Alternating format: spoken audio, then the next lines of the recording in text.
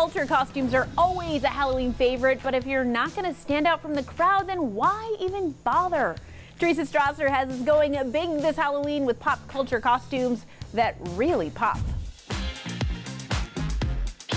There are all kinds of great store bought pop culture costumes, but they have one problem. How do I not look like everyone else on my block? It's all about accessories. They're an easy add-on and they will make you look so extra. Fashionista and stylist Elise Johnson is here to rescue that store-bought costume with her hand-picked accessories.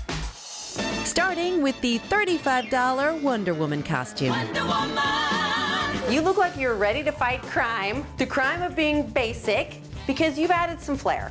These are the Wonder Woman gauntlets. That's right. These are only $15. They light up, they make sound effects. Nobody's gonna have these. That's perfect for trick-or-treating too, because if your kids can't find you, you give them one of those. Right? You can find both the costume and the gauntlets on Amazon.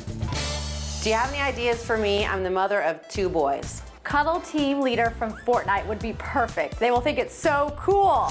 And Cuddle Team Leader drops into our second spot of pop culture costumes that pop. Fortnite is the wildly popular video game with more than 250 million players worldwide. The characters are known for their hot dance moves. I can even do the dance. You okay? can? Let's yeah. see it.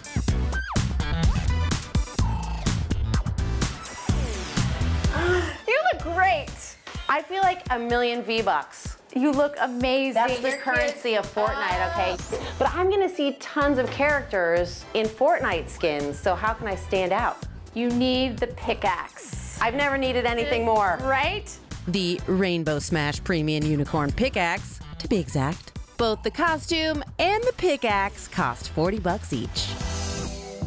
Our last pop culture costume getting the extra treatment is Robin from Netflix show Stranger Things. Scoops Ahoy Ice Cream Shop. Ahoy. Ahoy.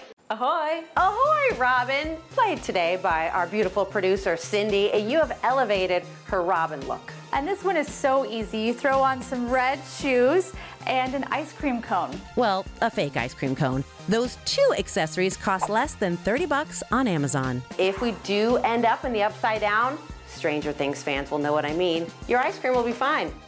Because that's fake. Oh, yeah. Making our pop culture costumes pop with add-on extras.